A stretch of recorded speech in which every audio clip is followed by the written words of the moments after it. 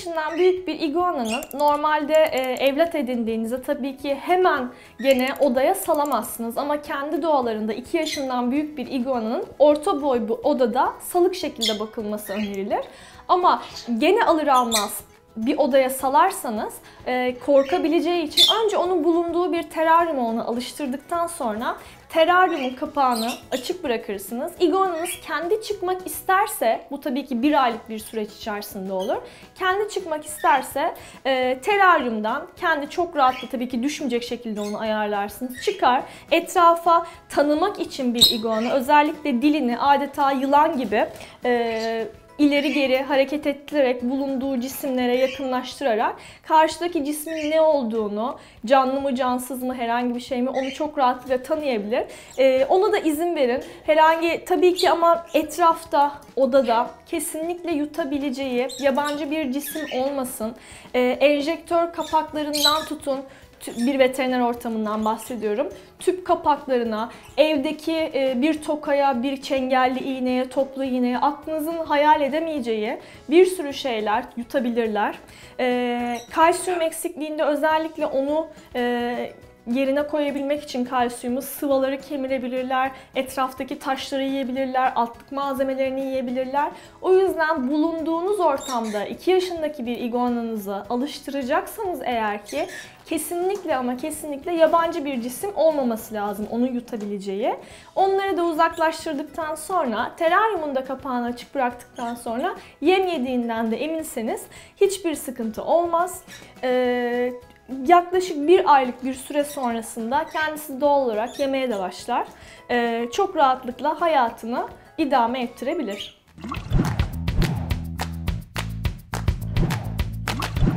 E, iguanalarda en sık karşılaşılan hastalıklar maalesef ki çevresel yanlış bakım beslemeden ötürü ve çevresel faktörlerden ötürü kemik erimesidir. Metabolik bone disease diye tabir edilir hatta İngilizce'de. E, bunlarda siz nasıl anlarsınız? Iguananızda ciddi çenede bir şişlik olur. E, ciddi bir inkoordinasyon bozukluğu olur. Iguananızda bildiğiniz sanki vücut çalışmış gibi kollarında ve bacaklarında ciddi bir şişme olur yüksek bir yerden atladıysa e, ciddi şekilde kırıklar olabilir. Parmaklarda, bacaklarda, kuyruklarda kopmalar ve e, eğrilik, büyürülükler olabilir. Asla yemek yemez, e, dışkılamaz. E, hatta komada bile hiç hareketsiz durduğu olabilir. Genelde bize bu şekilde öldü diye getirilen iguanalar maalesef ki olabiliyor. E, o tarzı durumda hemen vakit kaybetmeden iguananızı ısıtmanız ve muhakkak beslemeniz gerekiyor. Tabii ki bu yoğun bakım hastasıdır. Veteriner kliniğinde kalması gerekiyor ama Hani o tarzda e, durum lütfen mesela bize hasta sahipleri geliyor bir aydır yemek yemiyor, 10 gündür yemek yemiyor. En fazla 3 gün bekleyebilirsiniz. 3 gün yemek yemediyse muhakkak iguananızı veteriner kliniğine getirin.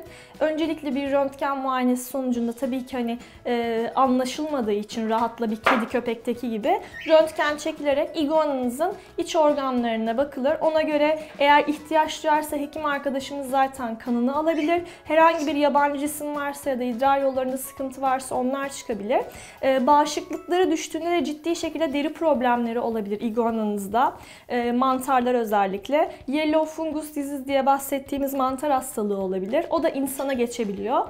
O tarzda bir durum olduğunda da korkmayın. Direkt siz de herhangi bir dermatoloji e, uzmanına gidip oradan e, örnek aldırıp e, türüne göre mantar ilaçları kullanabilirsiniz.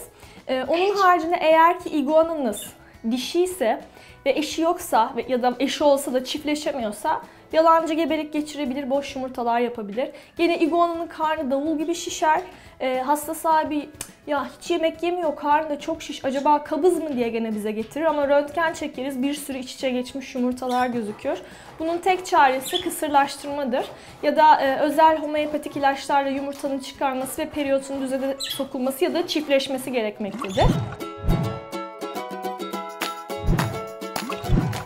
İguanalarımızın her gün Hatta sabah akşam kaka yaptıkça eğer ki su kabı su kapları kontamine olduysa muhakkak su kaplarının dezenfekte edilmesi gerekiyor. Bu soruyu da çok alıyoruz. Biz su kaplarını neyle dezenfekte edeceğiz? Normalde çamaşır suyuyla tabii ki dezenfekte edebilirsiniz ama şuna dikkat etmeniz gerekiyor. Bir birim çamaşır suyu koyduysanız 9 birim su koyacaksınız. Ee, kakadan e, iyice yıkadığınız çamaşır suyunu o solüsyonun içinde biraz bekleteceksiniz. Tamamen yaklaşık bir yarım saatlik süreç size zaten yeterli olur.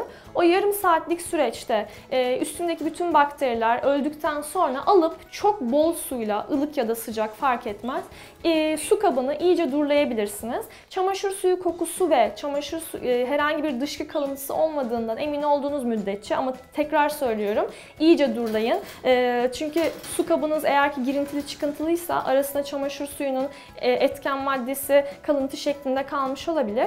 Onlara iyice dikkat ettikten sonra hiçbir sorun olmaz. E, bu arada iguanaların dışkıları ve idrarları e, ciddi şekilde kontamine olabilir ve salmonella taşıyabilir. Özellikle bu su kaplarını ya da kakayla kontamine olan igonanızın herhangi bir eşyasını yıkayacaksanız lütfen mutfak lavabosunda yıkarmanızı önermiyoruz. Çünkü salmonella dediğimiz bir bakteri taşıyabiliyorlar. Igonanızda bu ille bir belirti gösterecek diye bir şey yok. Fakat salmonella insana geçerse ciddi şekilde hastalıklara sebebiyet verebilir. O yüzden yıkadığınız e, onun materyallerini lütfen e, mutfakta değil, mutfak süngeriyle, bulaşıkları yıkadığınız süngerlerle vesaire asla değil. Normal banyoda, küvetinizde dezenfekte edebileceğiniz bir yerde onu iyice yıkayıp yıkadıktan sonra da lütfen e, lavaboda yıkadıysanız lavabonuzu ya da tuvalette ya da küvette yıkadıysanız onları iyice çamaşır suyuyla dezenfekte edip size herhangi bir hastalık ya da bakteri bulaşmasını, parazit bulaşmasını bu şekilde çok rahat engelleyebilirsiniz. E, en çok dikkat edilmesi gereken durumlardan bir tanesi odur. Hatta ben şunu öneriyorum. Sadece teraryum malzemeleri için değil, bulunduğu odaya ileride salacağınız için oraya da idrar dışkı yapacak. E, o temizlik kovalarının da muhakkak ama muhakkak farklı olmasına, uçlarının farklı olmasına ve sık sık uç kısımlarının değiştirilmesine dikkat edin ki herhangi bir yere e, kontamine ederek sizin e, Mesela evde bebeğiniz vardır, emekliyordur. Herhangi bir iguananızın dolaştığı yeri, e, kakasını yaptığı yeri bebeğiniz gezerse e, ya da bebeğinizin dolaştığı yeri iguananızın temizlik kovası ile dezenfekte ederseniz eğer ki bebeğiniz tabii ki yeri yalayabileceği için ya da ellerini yalayabileceği için kontamine olabilir.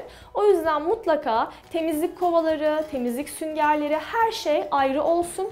Onlara özellikle dikkat edin. Ama biz de bu mesleğin içindeyiz. Salmonella bizim de meslek hastalığımız.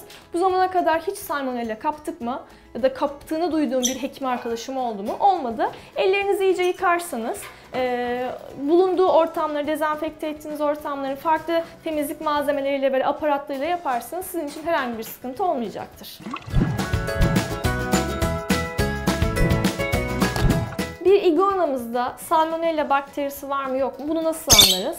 Ee, çok rahat bir yöntem vardır. Taze kakasını tabii ki en geç 4 saatlik bir dışkısını, kakasını diyoruz artık. Ee, onu e, yakınlarda tanıdığınız ya da çalıştığınız bir veteriner hekiminiz varsa ona götürüp e, salmonella kültürü açısından yani bildiğiniz dışkı kültürü, gayta kültürü bakılarak salmonella hastalığını taşıyor mu ya da taşımıyor mu? O bakteri vücudunda var mı yok mu? Bu çok rahatlıkla anlayabilirsiniz. Bunu rutin olarak da yaptırabilirsiniz. E, ekstradan e, 3 aylık, 6 aylık, 12 aylık süreçlerde de yaptırabilirsiniz. Eğer ki negatif çıkıyorsa zaten korkulacak hiçbir şey yoktur. Ama e, genelde salmonella etle, e, sütle, canlı yemlerle ve iyi yıkanmamış gıdalarla bulaşabilir. E, onlara dikkat edin. E, yediğiniz, yedirdiğiniz gıdaların iyice yıkandığına özen gösterin. Zaten süt içmiyor, e, et yemiyor hani karnivor olmadıkları için korkulacak pek bir şey yoktur ama e, zaten salmonella taşıyıcısı olan bir iguana ishal olur. Yemez, içmez ve aşırı derecede adeta kümes gibi kokar. Hani onlar da e, veteriner hekiminize yardımcı olabilir. O tarzda dışkı muayenesini rutin olarak gayta kültürüne artı gayta parazit muayenesine gönderirseniz ne sizin açınızdan ne iguananız açısından hiçbir sıkıntı olmaz. E, bu arada iguanalara da parazit uygulaması yapılabilmektedir. E, hem rutin aralıklarla kültürüne baktırırsınız hem gayta muayenesine baktırırsınız. Herhangi bir parazit yoksa da zaten korkulacak bir şey yoktur. Ama olsa bile korkmayın. E, iç parazit uygulamalarıyla rutin olarak kedilere, köpeklere yapılan iguanalarınıza da ağızdan ya da iğne şeklinde yaparak parazitlerden uzaklaşmasını sağlayabilirsiniz. İguanalarımıza e, iç parazit e, şurupları ya da e, pastaları ya da enjeksiyonları 3 aylık süreçte çok rahatlıkla yapılabilir. Yalnız eğer ki iguananızda dışkısında yetişkin bir parazit döktüğünü görürseniz ki bitki parazitleri özellikle çok yaygındır iyi yıkanmamış gıdalardan geçen. O zaman 15 gün arayla 3 kere sonra ömür boyu 3 aydan 3 aya iç parazit uygulaması önermekteyiz. Tabii ki iguanalarınızda sadece normal iç parazitlerin etki ettiği parazitler değil, Giardia ve Izospora dediğimiz normal zoonoz olan insanlara geçebilen de parazitler mevcuttur. Bunlar da gene gayta muayenesinde belli olur ve iguananızın dışkında anormal değişimlere sebebiyet verir.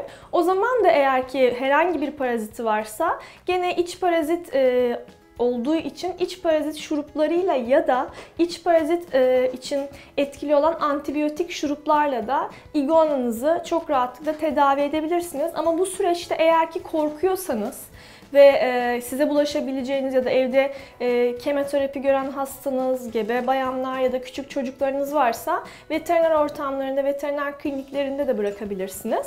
Tedavi olduktan sonra iguananızı rahatlıkla size teslim edebilirler. Normal süreçte eğer ki Giardia ya da izospora varsa 9 günlük bir tedavi süreci sonrası size direkt hastanızı verebilirler, iguananızı verebilirler. Gene hayatına normal şekilde devam edersiniz ama mutlaka gayta muayenesini ve gayta kültürünü ihmal etmediğiniz müddetçe ve verdiğiniz gıdaları iyi yıkadığınız sürece ve iguananızı öpmediğiniz sürece ve dokunduktan sonra e, yemek yemeyecek yani yemek yemeniz gerekirse elinizi ağzınıza götürmeniz gerekirse elinizi yıkadığınız sürece sizinle uzun süre mutlu mesut yaşayabilirler.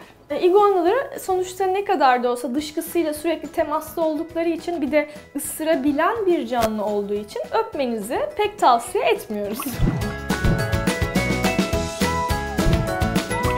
Normalde iguanalar maalesef ki bir kedi gibi e, tuvaletlerini e, kum kabına pek yapmazlar. Teraryumlarında oldukları müddetçe e, altlık malzemelerini yapabilirler ya da bulunduğu pede yapabilirler. Ama küçüklükten itibaren bir iguananızı bizim iguanalar gibi alıştırırsanız eğer ki e, herhangi bir e, pede, e, kuma ya da e, altlık malzemesine tuvaletlerini yapabilirler. Ama yetişkin bir iguanayı evinize saldınız Koltuğunuza da tuvaletini yapabilir, sehpanıza da, halınıza da. Ben özellikle salık bakılacak e, iguanaların sahiplerine özellikle şunu öneriyorum. Koltuklarınızın üstüne lütfen bir örtü örtün.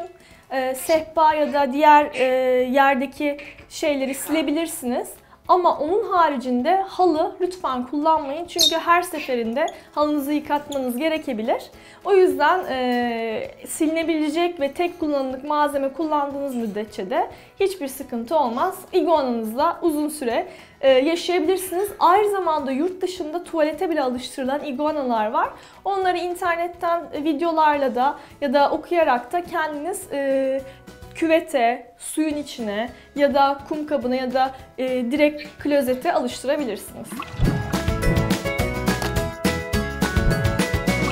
Genelde iguanaları eğer ki kendiniz çok e, alıştırmadıysanız ya da hiç bilmediğiniz bir iguananızın yanına yaklaşacaksanız öncelikle sizi tehdit şeklinde algıladığında bu e, gıdısının altındaki adeta böyle bir perde gibi olan e, pelerinin diyeyim ben size onu ciddi şekilde buradaki kemiği gererek bir kabartırlar. Kendi boyutlarını biraz böyle e, gerilerek büyütürler. Adeta bir dik, dikdörtgen şekli alırlar. Aynı zamanda iguana erkekse e, ve karşıdakinin yaklaşan canlının cinsiyeti erkekse genelde kafa sallayabilir e, çok aşırı derecede tehdit hissederse üstünüze birden atılabilir ya da kuyruğunu kampçı gibi kullanıp size vurabilir. Baktı hiç olmadı, e, tutuyorsunuz havluyla kuyruğunu sabitlediniz vesaire. En son onda kalan e, savunma mekanizması ağzıdır, sizi ısırabilir. E, et bile kopartabilir. O yüzden özellikle öpmemeniz gerektiğini e, öneriyoruz. Çünkü hani gerçekten e, sürüngenin dudaktan et koparttığını bildiğim hasta sahiplerim var. O yüzden lütfen bu tarzda durumlara dikkat edin. Eğer ki bir iguana çok şişiniyorsa, boyutunu normal dışı büyütüyorsa onun yanına yaklaşmayın. Sizin önce bir görüntünüze alışsın. Ondan sonra sakinlenince, o kafa sallaması geçince, kuyruğunu biraz serbest bırakınca ve o yelesini de e, birazcık rahatlatınca böyle kapattığı vakit bilin ki artık okey senden korkmuyorum yaklaşabilirsin demektir. O şekilde yaklaşabilirsiniz.